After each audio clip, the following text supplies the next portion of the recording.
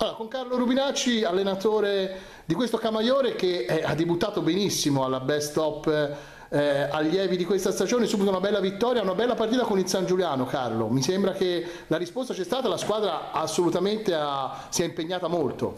Sì, stiamo continuando su questo trend eh, già un po'. Eh, abbiamo vinto il campionato e stiamo affrontando questa manifestazione molto bella, vedo che è molto organizzata molto bene e sì, siamo partiti bene col piede giusto con questa vittoria, anche se è stata una partita combattuta perché abbiamo dato il vantaggio subito, poi dopo abbiamo avuto una ventina di minuti che loro hanno preso il dominio della partita in mano, però dopo ci siamo rimessi a posto soffrendo un po' e poi dopo abbiamo ripreso il nostro tipo di gioco. Penso che in fondo insomma, la vittoria sia abbastanza meritata.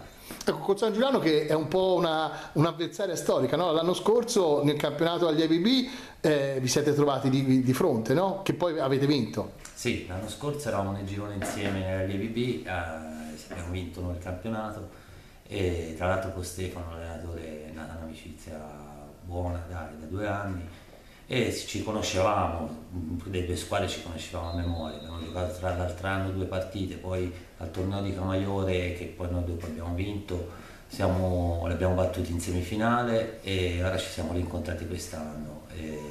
tra l'altro sono contenta che per Stefano che hanno vinto il campionato loro nel girone di Pisa diciamo, e è stata una bella annata anche per loro, sono felice per lui.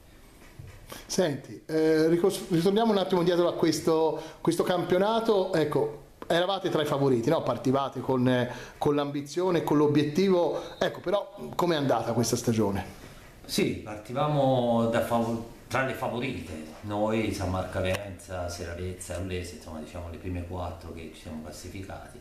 Abbiamo avuto dei momenti eh, ottimi come dei momenti di calo come tutte le squadre penso hanno durante un campionato, poi se noi essendo nella zona di Camaiore te lo sai bene, anche se siamo a Camaiore ma il carnevale è eh, vicino alla zona nostra, infatti il cavo nostro l'abbiamo avuto nel, nel, nel periodo di, di, del carnevale di Viareggio, nel senso che insomma sono ragazzi di 16-17 anni, è chiaro che un po' si lasciano andare, però poi dopo abbiamo recuperato, in conclusione abbiamo vinto questo campionato qui con 5 punti sulla seconda, 7 sulla terza e 13 sulla quarta, insomma un'annata abbiamo fatto 127 gol, ne abbiamo subiti 17, di cui abbiamo fatto tutte vittorie, meno 4 pareggi e una sconfitta. Un, un, gruppo importante no? che mi sembra negli anni a Camaiore ha fatto bene questo 2002. Sì, io questo gruppo qui l'ho preso lo scorso anno e loro erano stati due anni con Roberto Casini prima, avevano fatto i giovanissimi B, l'avevano vinto, poi avevano fatto i giovanissimi A, l'hanno perso per un punto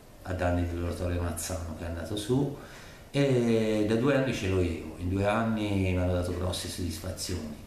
E la difficoltà è stata dopo l'anno scorso, tenere tutti questi ragazzi qui a fare il provinciale è stata dura e sono contento che con me si sono trovati bene e hanno fatto un patto che sono rimasti tutti Anzi, vi siete anche rinforzati, no? Sì, Mi dicevi. Poi abbiamo avuto l'avvento sia all'inizio che durante l'anno, abbiamo avuto all'inizio il rientro di Puccinelli e Iacomini che erano già stati a Camaiore gli anni prima, poi erano andati a margine.